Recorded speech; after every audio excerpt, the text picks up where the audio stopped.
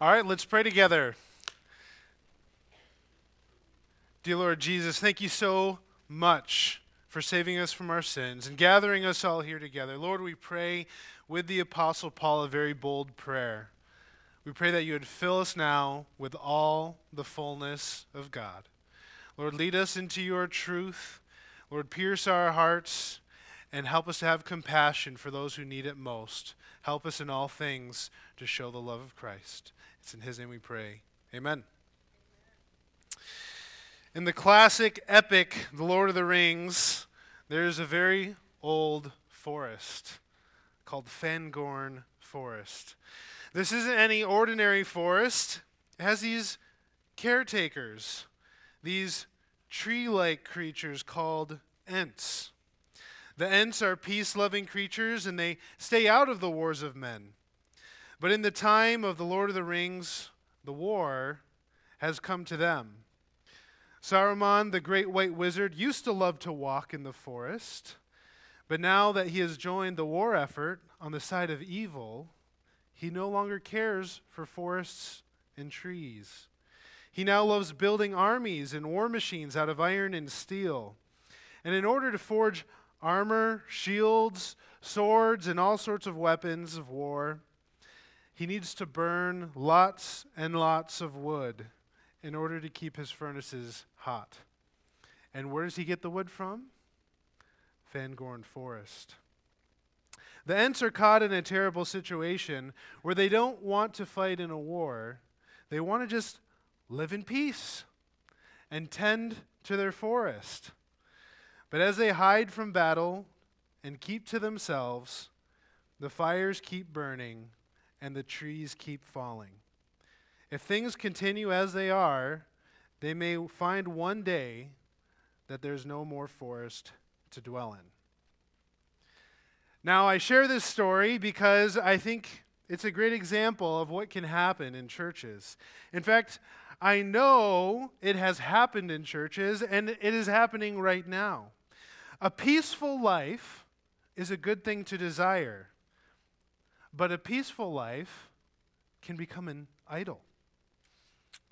Back in the 90s, the musician Rich Mullins once said The ultimate goal for many Christians is to live in a pretty little house with their pleasant little family in a peaceful little neighborhood where you don't have to run into any gays or drug addicts. Too often, we can get caught up in our Christianized version of the American dream and forget that there is work to be done that Christ created us to do. If we live as if all our faith demands of us is to play church on Sundays and be nice to people during the week, we're not going to reach the lost for Christ. We're not going to succeed in raising our kids in the faith, and we're probably not going to last as a church. So that's why we need to look to Christ. In the first place, it's Christ who saves us. It's Christ who left us with a job to do. And it's Christ who strengthens us and guides us to do the job that he gave us to do. And if we're going to make a difference for Christ, it will start with us looking to him and learning to raise up people and to raise up leaders like he did. Now, Pastor Mark preached a sermon two weeks ago called Why Lead Like Jesus? Today we're going to look at how to lead like Jesus. We're going to get right into it. So, how did Jesus train up leaders?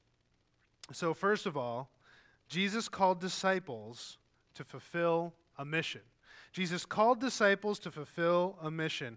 Let me read for you Matthew 4 18 through 20.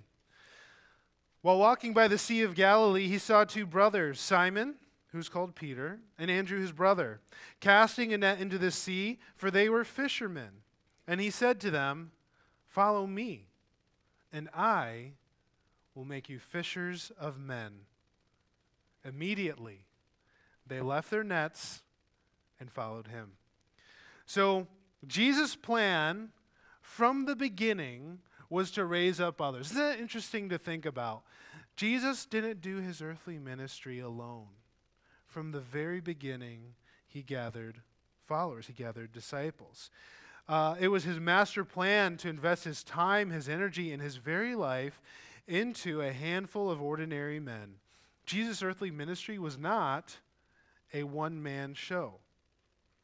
Now, think about the type of people Jesus was reaching fishermen? Uh, come on, Jesus, if you want to make a difference, maybe you should get to know some kings or some military leaders or maybe Caesar himself. But the, li- the wisdom of our Lord, it's so different from the wisdom of man. When our Lord chose the 12, he chose regular people, people without positions of power or stature, people with obvious flaws, like zealots, like tax collectors. The focus of Jesus' ministry was not large movements or political parties, his focus was individual people. So, Christ, here's a quote from uh, the church father John Chrysostom. He said, Christ had the power to set the human race free. He succeeded in doing this with no force of arms, nor expenditure of money, nor by starting wars of conquest, nor by fl- inflaming men to battle. He had only 11 men to start with, men who are undistinguished, without learning, ill informed, destitute, poorly clad, without weapons or sandals, men who had but a single tunic to wear. These are the type of people Jesus called to his mission. So I wanted to start with that because if you're thinking, oh, this sermon's about leadership, I'm not really a leader, so this sermon probably isn't for me. Don't think that. Jesus called ordinary people to be his disciples, and he called the least likely people to be his apostles.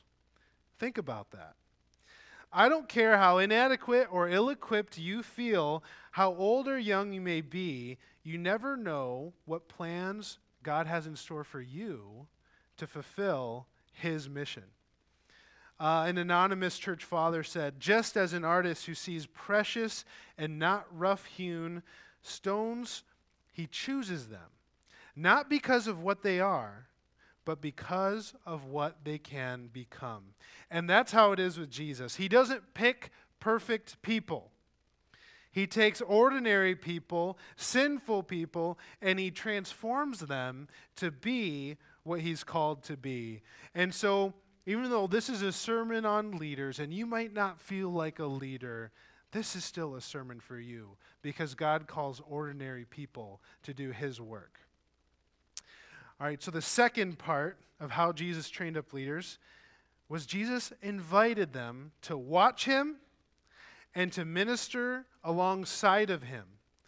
So in Matthew 4:23 it says this, and he went throughout all Galilee, teaching in their synagogues and proclaiming the gospel of the kingdom and healing every disease and every affliction among the people. So as Jesus ministered, his disciples went with him. And they were able to watch Jesus proclaim the kingdom and care for the sick and the afflicted. By the way, the rest of Matthew 4, so that's Matthew 4, up until Matthew 10, all it's doing there is describing Jesus' ministry what he was preaching, what he was doing, the people he's caring for, the people he's healing. And all that time, all this ministry he's doing, the disciples are right there with him. Now, think about this it says he ministers in all of Galilee. So there are about, at that time, 240 villages in Galilee, and the villages were mostly very small. But there's 240 villages in Galilee, and uh, scholars believe Jesus uh, went to all of them at least twice, as far as we can tell from the scriptures. So think about that. Jesus is traveling from village to village, and he's preaching the, the good news that the king, Repent, for the kingdom of heaven is at hand. And where the sick people are, he's healing them. People are demon possessed, he's casting out demons. And he's going through all of Galilee, and he's doing this. So think about all the time Jesus got to, the disciples got to see Jesus do ministry. They got to see him preach, and oftentimes the same sermons. They had to hear him over and over again. And they got to see him care for hundreds of people, possibly thousands of people. So, a huge part of their training was just being with Jesus as he did ministry. So often we observe a son who walks and moves just like his father. You'll see a kid, he grows up, and you might have known the dad, but then you see this kid and he's a teenager now, and you're like, wow, he reminds me so much of his dad. Because they walk the same and they talk the same. Well, that's because of all the time the son has spent in the presence of his father. He picks up his father's traits, whether consciously or not. And so, too, this is part of Jesus' training for his disciples. They're going with him as Jesus is preaching, as Jesus is ministering, and they get to see and just observe what he does and serve alongside of him. So, Jesus didn't call the disciples to be fishers of men and say, Now, here's how you're going to become fishers of men. I want you to come to a service with me once a week, and in about three years, you're going to be ready. no, that's not how it went. He invited them to come alongside of him and experience the deepest trenches of ministry and the highest mountains of joy when fruit for the kingdom was born. So we see the first step, Jesus called them to a mission. He says, You're going to be fishers of men. And the second step, Jesus invited them to watch him and minister alongside of him. Now, our third step Jesus sent the 12 away to minister themselves. So uh, we have a few passages here. So Jesus gives instructions and he sends out the 12. So Matthew 10 1, it says, And he called to him his 12 disciples, and he gave them authority over unclean spirits to cast them out and heal every disease and every affliction. So he gives them the power to do the kinds of things that he has been doing. I'm going to skip to Matthew 10 5. It says, These 12 Jesus sent out, instructing them Go nowhere among the Gentiles and enter no town of the Samaritans, but go rather to the lost sheep of the house of Israel, and proclaim as you go, saying, The kingdom of heaven is at hand. Heal the sick, raise the dead, cleanse lepers, cast out demons.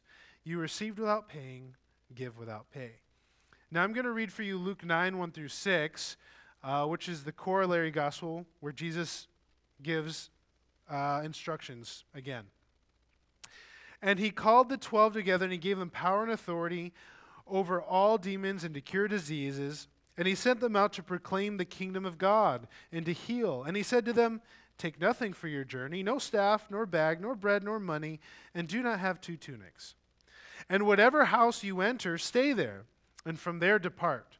And wherever they do not receive you, when you leave that town, Shake off the dust from your feet as a testimony against them. And they departed and went through the villages, preaching the gospel and healing everywhere. There's a co- there's a three observations I want to make here. So first of all, uh, they were sent in pairs. Uh, um, that one is easy to miss, but when he lists the the um, disciples, he lists them in pairs. And so I think we can assume he sent them in pairs. And we'll see later, Jesus has his practice of sending people in pairs. So Jesus sent them in pairs.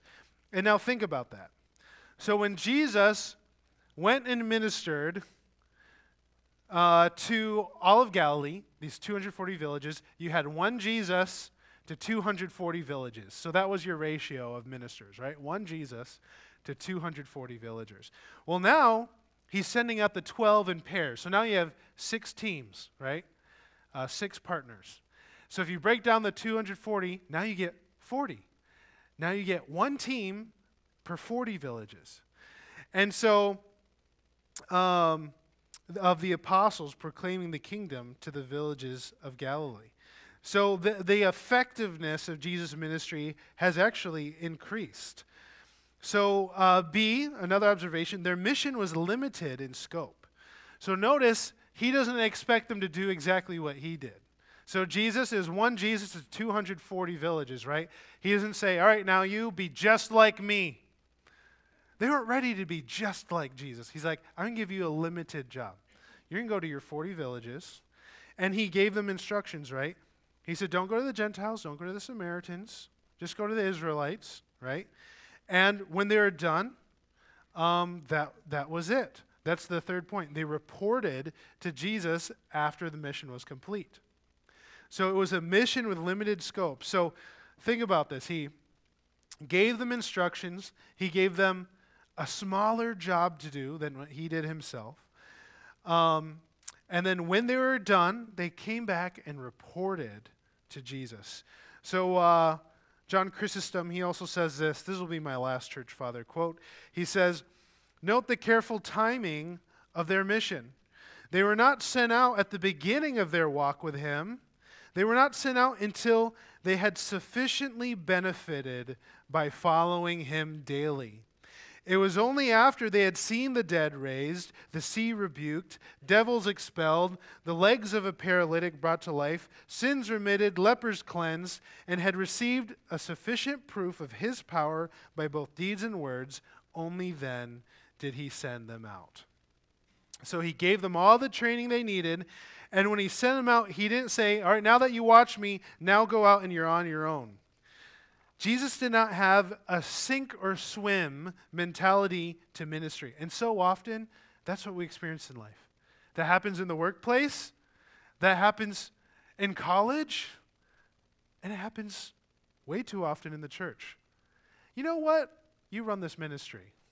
Sink or swim, figure it out. But that's not what Jesus did.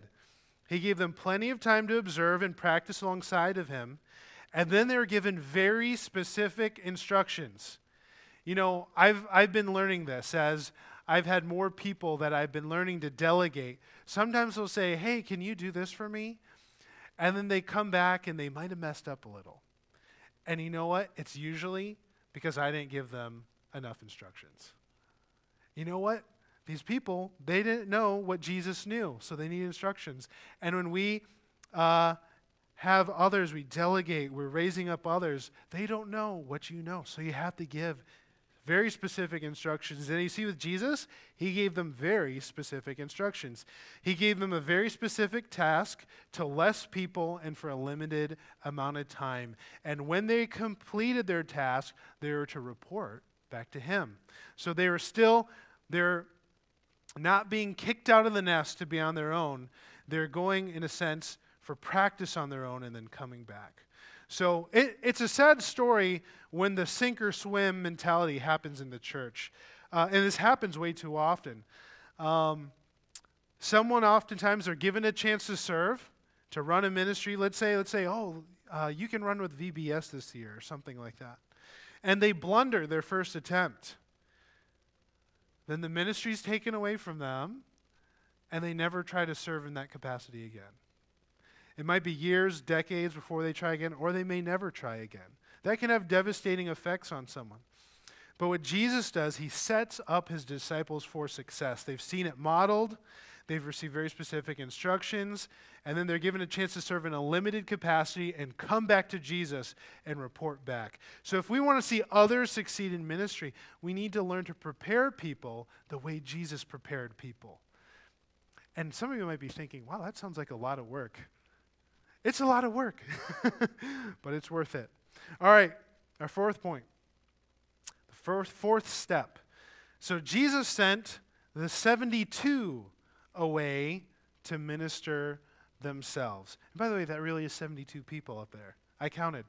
Um, so in Luke 10, verse 1, he says this After this, the Lord appointed 72 others and sent them on ahead of him, two by two into every town and place where he himself was about to go.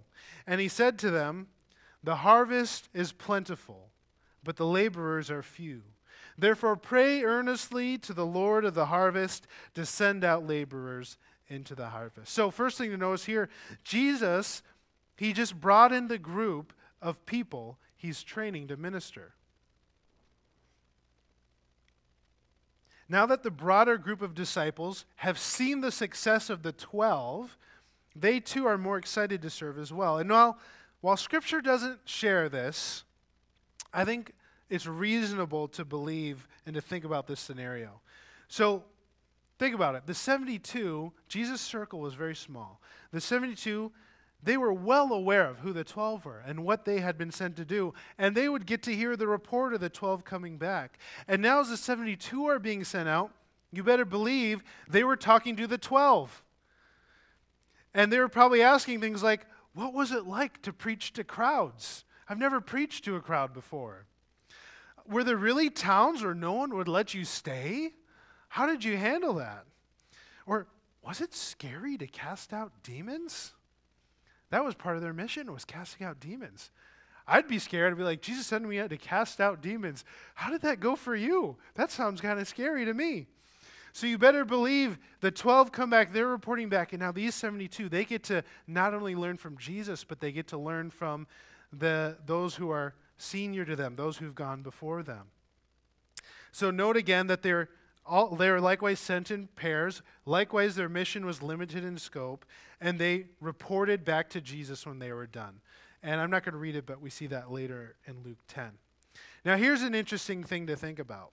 So, remember how he said when Jesus first went through all of Galilee, preaching and healing by himself, he had one Jesus to 240 villages. When he sent the 12, you had um, one partnership to every 40 villages. Now that he sends out the 72, you had one partnership for every seven villages.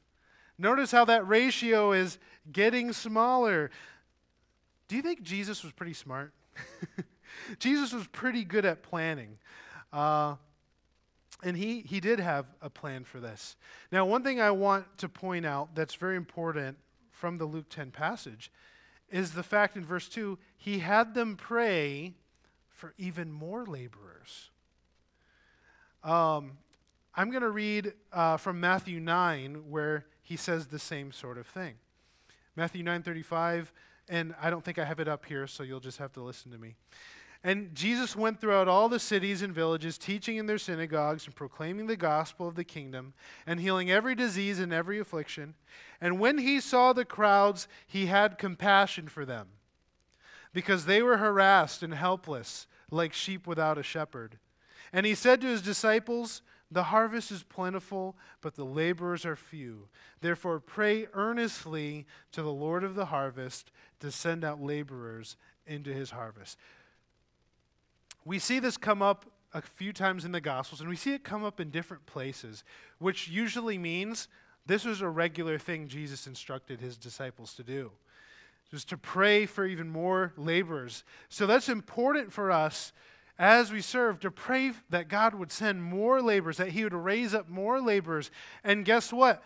In the Matthew 9 passage, um, when Jesus has them pray this, He hasn't even sent out the 12 yet.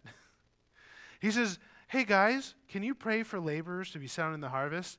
And then, literally, the very next verse, He's like, All right, guys, I'm sending you out into the harvest.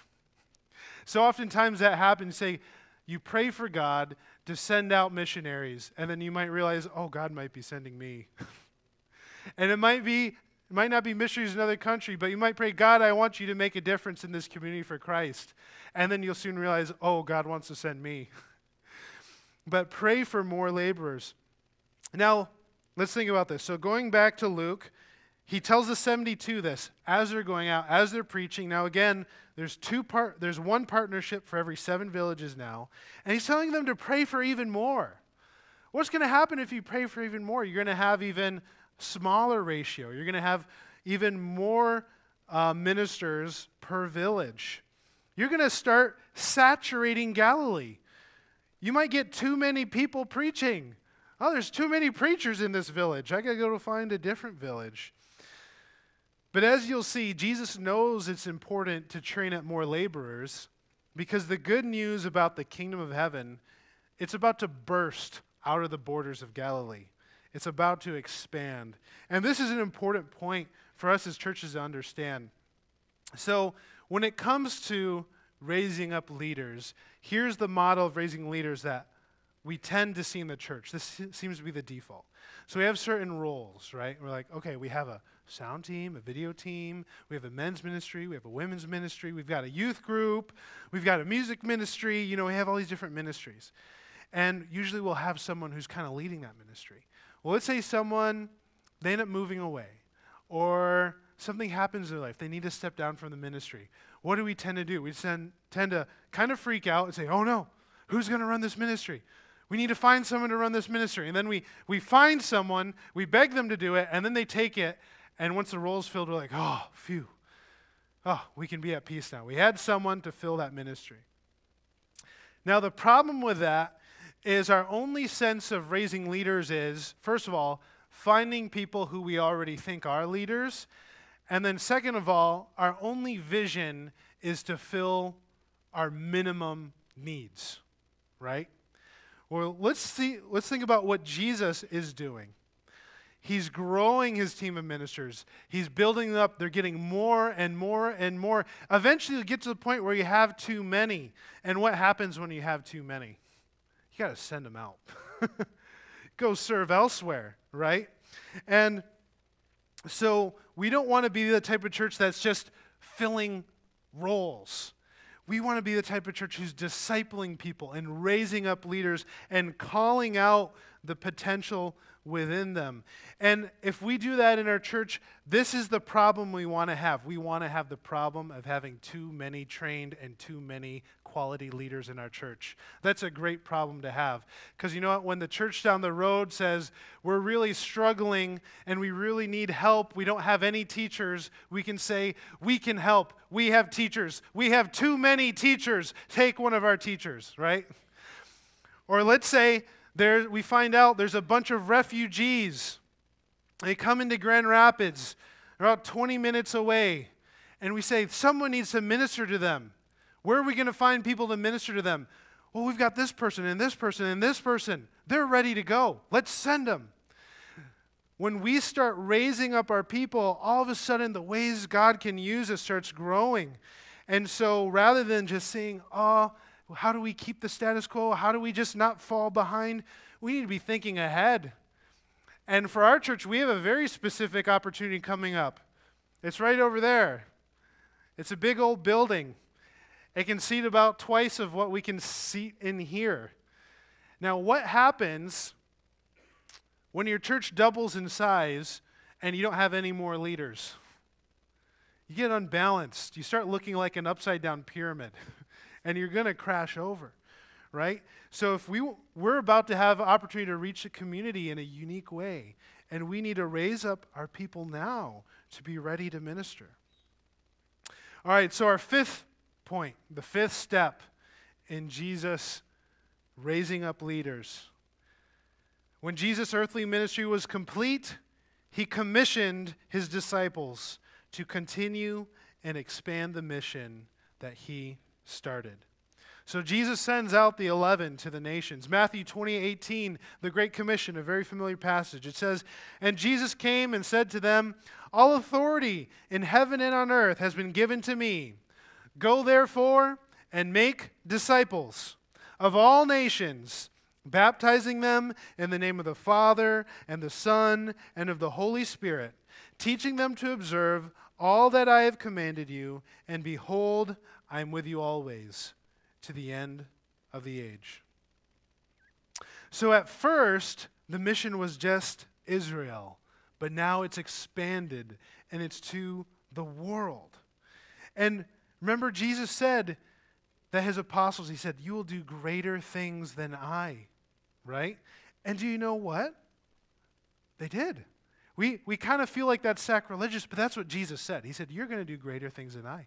Jesus' ministry was in a limited scope. And he said, I'm not going to stay here and finish this ministry on my own. You're going to help me. You're going to bust the borders of Israel, and you're going to take this good news to the entire world. And so think about this. When uh, he first called the apostles, he said, I'm going to make you fishers of men right? He said, This is what I'm going to do. And here you are, three and a half years later.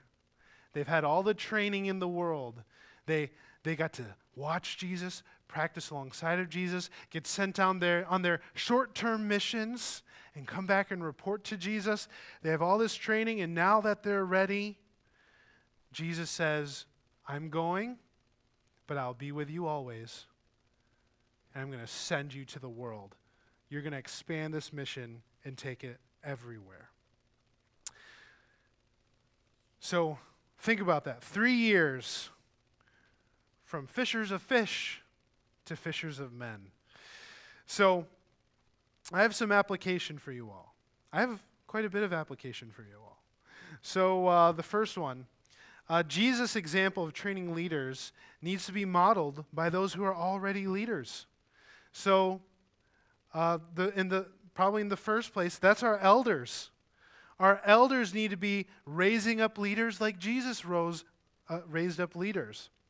And our elders, for our last three or four elders meetings, this has been a major part of our meetings. We've been discussing how can we better raise up leaders like Jesus raised up leaders. So pray for us as we try to lead in that way. And our ministry leaders, if you're leading it within a ministry, look at Jesus' example and think, how can I raise up more people to do what I'm doing? Second application if you want to start raising leaders like Jesus, here's where you start. Start by never ministering alone. Never minister alone. This is the easiest place to start because that's how Jesus started. He just had them go with him. Come with me. Follow me, right? Just do this with me, and you can watch me do it. That's the place to start. So if you're serving in any capacity, Start inviting others to serve with you. I don't care what it is. If you're helping prepare food for meals, invite people to help with you. If you're teaching a class, invite someone to start teaching with you. um, whatever it may be, if you're um, serving in the community, um, if you're doing evangelism, whatever you may be doing, don't do it alone. Bring others with you. Now, if you are not serving, Find someone who is and say, I want to serve with you. I'm not good at evangelism. Can I go with you and watch you do it? I'm not good at teaching, but I think I might want to. Can I see how you prepare your lessons? Can I serve alongside of you? This is the place to start. All right, application number three. Expect this to be an incredibly personal and time consuming process. So, Jesus and the disciples they lived together for most of those three plus years. Think about that. It was not 90 minutes on a Sunday. This was a lot of face to face time and shoulder to shoulder time. Um, so Jesus spent over three years with these people because transformation takes time, but it doesn't take forever. So three years, it's, you might think, oh, it seems like a long time, but at the same time, three years go by very, very quickly. So, if you could have even one transformational relationship every three years, that will probably be the most impactful ministry throughout your life. Is these individual people that you invest in over the course of time. Number four, expect difficulties, challenges, and failures. So I don't know if you've noticed this in the Bible, but Jesus' disciples weren't always easy to lead. they often didn't get what he was teaching them. They bickered. They had wrong motives at times. They failed at times, but Jesus stuck with them. So just because you're trying to lead someone, you're trying to uh, pull, draw out their God given potential, doesn't mean it's going to come out quickly. Some, some, we all have rough edges, and some of us have more than others, but it takes time, and there's going to be difficulties and challenges along the way. All right, the fifth thing expect heartache. So Jesus started with 12, but what did he end up with? 11. Because Judas betrayed him. Now, you might not be betrayed and killed like Jesus, but there will be people who break your heart. There will be people you spend months and years with, and they just walk away from the faith. And maybe they won't walk away the fa- from the faith. Some will stay in the faith, but they'll walk away from you. They might get mad at you over something. Part of inviting someone into your life is to invite them into your heart. And while this won't always be the case, there will be times where these people will hurt you. the people that you cared so dearly for who leave you behind. So expect heartache. Now, these last few I gave you are kind of depressing. Expect it to be incredibly personal, time consuming process. Expect difficulties, expect heartache. Well, here's the last one expect God empowered transformation.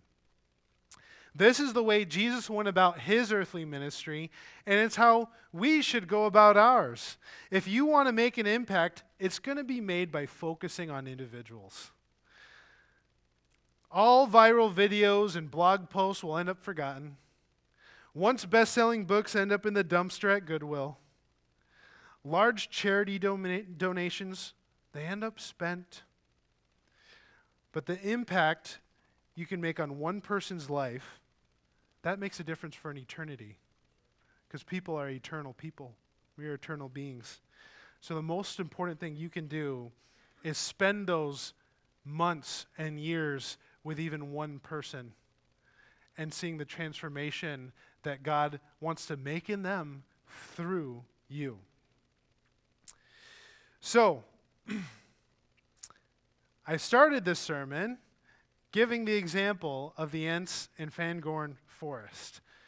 At one point in the two towers, the Ent named Treebeard sees the devastation Saruman has caused, cutting down and burning his beloved forest, and he gathers all the Ents to march on Saruman's fortress, and he calls them to action. Now, Gandalf in the book The Two Towers, he describes this moment saying, But now his long, slow wrath is brimming over, and all the forest is filled with it. Its tide is turned against Saruman and the axes of Isengard. Isengard. A thing is about to happen which has not happened since the elder days. The Ents are going to wake up and find that they are strong.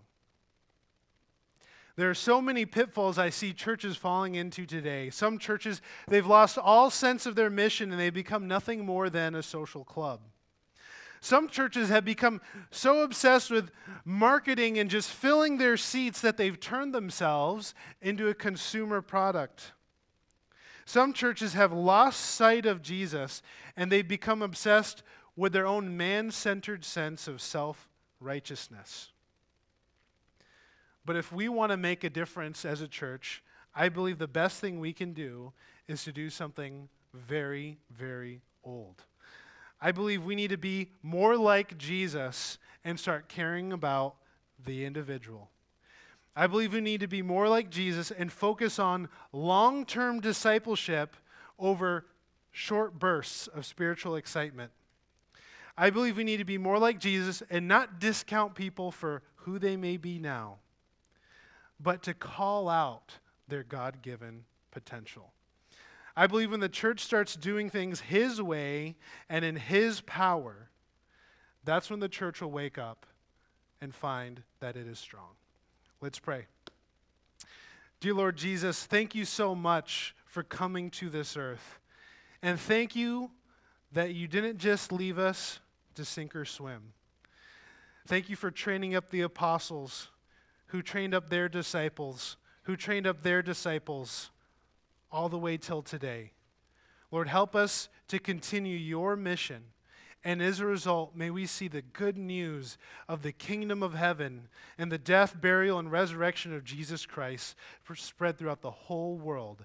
Help us to be faithful to that mission right here and right now in our community, focusing on one person at a time. It's in your name we pray. Amen.